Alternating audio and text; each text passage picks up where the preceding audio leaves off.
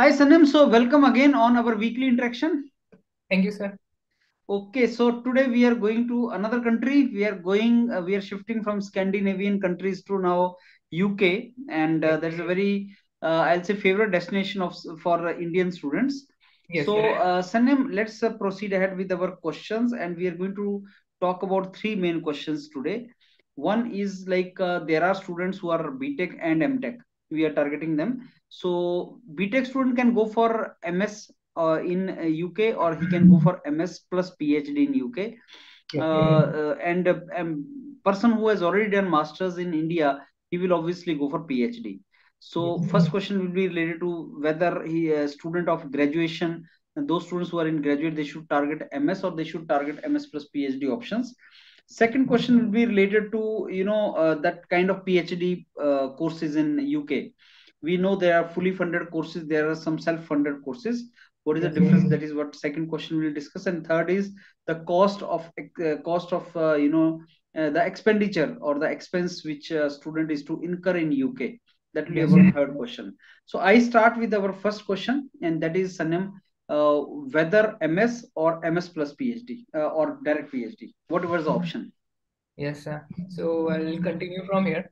And uh, sir, uh, there are two, as you have said, there are two opportunities, MS plus PhD and uh, PhD program, the regular PhD program. Mhm. So I will um, break down this. So let's say there's a student from uh, bachelor's and uh, he or she is in third year, third year of their bachelor's, right? So I Mhm. will highly recommend them to start if they are targeting for uh, like if they have done some research paper or have they have their research inclination, it's Mhm. very much uh, recommended for them that they target uh, they start targeting uh, direct PhD programs where they will be covering one year as coursework, which is nothing but masters.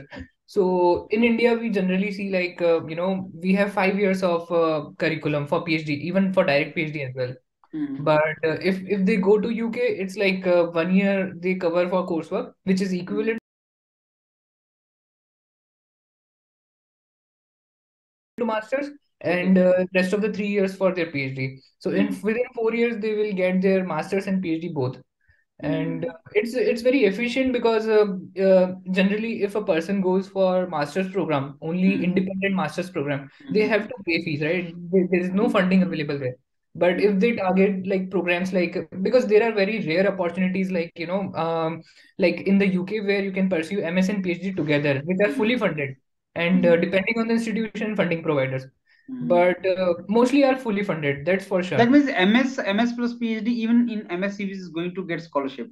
Yes, and uh, and your advisor will directly take away from your as soon as you complete your master's, your advisor directly take away uh, from there uh, for your PhD coursework and PhD thesis. So Mhm. there is one university named as University of Edinburgh uh, is very famous for uh, the for the students is very favorable for students to go Mhm. for uh, like direct PhD programs. There Mhm. are other universities, but Edinburgh is the famous one. Okay. So that means if I'm I'm a BTech student in India, uh, if I want to go to UK, I can go for uh, MS plus PhD fully funded. Is that what you're saying? Exactly. In that case, uh, can you tell me how much is the expenditure required for a student? Uh, they just need to bear. Uh, uh, so there is something uh, application fees they need to bear, which which is generally you know if they ask for their uh, ask their advisor, they they, they will waive off. Mhm. And uh, second is uh, they need to maintain the logistics, the rental agreement, and all those things. They don't need to pay tuition fees and all because that will be paid by the department. If if you are uh, enrolled in your uh, So PhD, Salim, MS out of all the courses, only MS में there will be expenditure. PhD में there will not be expenditure. MTech to PhD and BTech to MS plus PhD also there will not be any expenditure, right? right. So without money, if you want to go to UK, then you have got two options. After BTech, Yes. MS plus PhD, and after MTech, go to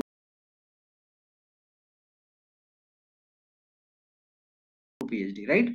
Yes, but sir, um, this MS plus PhD is something, you know, um, same as a direct PhD program in India, which we Ah, see, right? Mm, yes. Because there you have to It is called integrated PhD actually in India. yes, yes, you have to make an agreement with the professor. That's Yes. there. So you there are certain credit requirements or uh, CGPA requirements that you need to fulfill after first year of master's. Mm, wonderful. Now, Salim, coming to the second part, I have I've seen gone through some universities in the UK, and uh, they mention a fully funded PhD and self-funded. So, what is a self-funded and fully funded? So self-funded is the nightmare for Indian students because if they will go for self-funded, they need to spend at least 1.5 crores of money.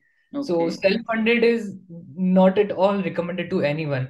Uh, Mm. fully funded is something, you know, uh, which you, which I said, like there's one, uh, one method where you can directly approach the professor to get the funding, and uh, other pro, other websites you can visit, like uh, find a PhD or something like that. Okay. But it's recommended to, you know, uh, approach professor from your uh, very early stage, so that if there is a case of funding uh, with them or if there is funding left, you will be easily enrolled if you can prove your candidature. Mm-hmm. Okay. Yeah. So you should only go for fully funded program, right? Yes, yes. Okay, now so can you tell, yeah, Sanam? can you also tell now what is the expenditure to be incurred in all these courses and what is the uh, sort of scholarship which you get? Because students want to know that if I'm going for MS, मेरा कितना खर्चा आएगा and if I'm if I'm going for PhD, मैं कितना कमा सकता Those things come to the mind. Yes. So generally, uh, as compared to Germany, in Germany where they pay approximately, you know, um, 2,000 euros, I guess, or 1,500 euros uh, in the same manner, uh, they pay they pay in uh, Great Britain pounds, which is uh, roughly equivalent to 2000 or uh, 2500 euros for their monthly stipend, which is easily to, you know, uh, manage your living expenses and uh, paying your tuition fees.